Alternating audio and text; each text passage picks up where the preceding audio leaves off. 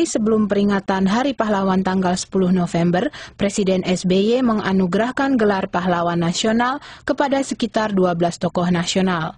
Salah satu tokoh yang menarik perhatian adalah Purnawirawan TNI AL yang sudah almarhum, Daniel Yahya Dharma atau John Lee.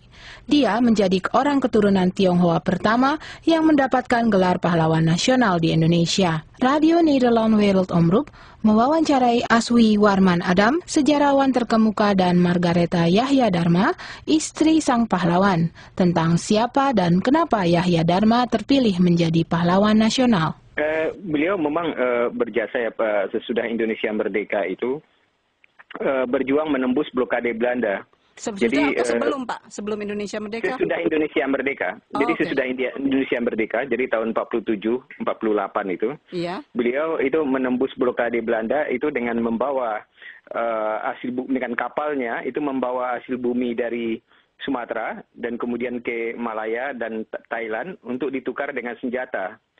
Dengan itu uh, kita akan mendapat uang dan juga senjata yang kemudian diserahkan kepada uh, gerilyawan kita gitu. Beliau hmm. melakukan itu paling tidak 15 kali uh, dengan uh, dengan mempertaruhkan uh, nyawanya karena uh, ada uh, kapal Belanda ataupun juga pesawat Belanda yang uh, selalu uh, siap untuk menembaki dengan menantang uh, maut itu menembus blokade Belanda gitu. Yeah. Menembus blokade Belanda untuk uh, kemudian ditukar dengan uh, apakah itu senjata atau dijual untuk keperluan uh, gerilyawan kita, untuk keperluan pemerintah Indonesia. Sebagai perwira angkatan laut, dia juga terlibat di dalam uh, upaya untuk memadamkan pemberontakan uh, di beberapa tempat di Indonesia. PRRI, Permesta, RMS, da, dan lain-lain gitu. Beliau memang pernah bekerja uh, di kapal, di, di perusahaan uh, kapal Belanda gitu. Tapi oh, sebagai uh, apa? KPM, ya. Uh, tapi sudah itu kemudian setelah Indonesia merdeka, dia kembali ke Indonesia dan uh, masuk ke angkatan laut. Gitu. Ya, ya. Jadi, jadi sebenarnya beliau bukan apa yang disebut orang Belanda sebagai overloper ya, Pak ya, pembangkang seperti Pongke Prince.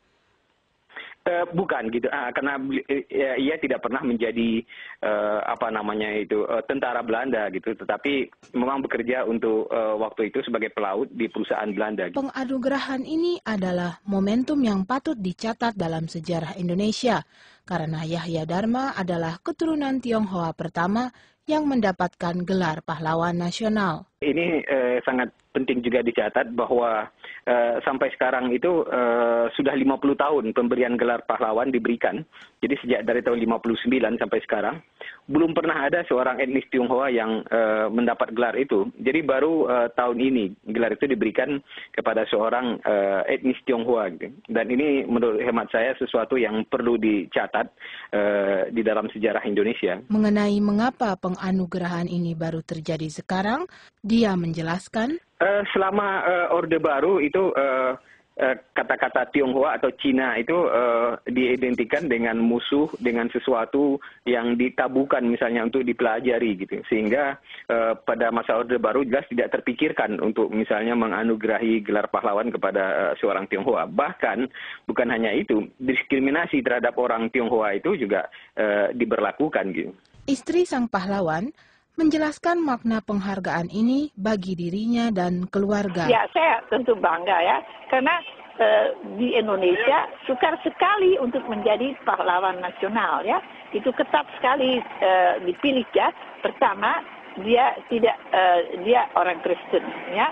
Dan hmm. kalau mayoritas bangsa Islam tentu ya orang Kristen kecil kemungkinan dia dianggap nasional.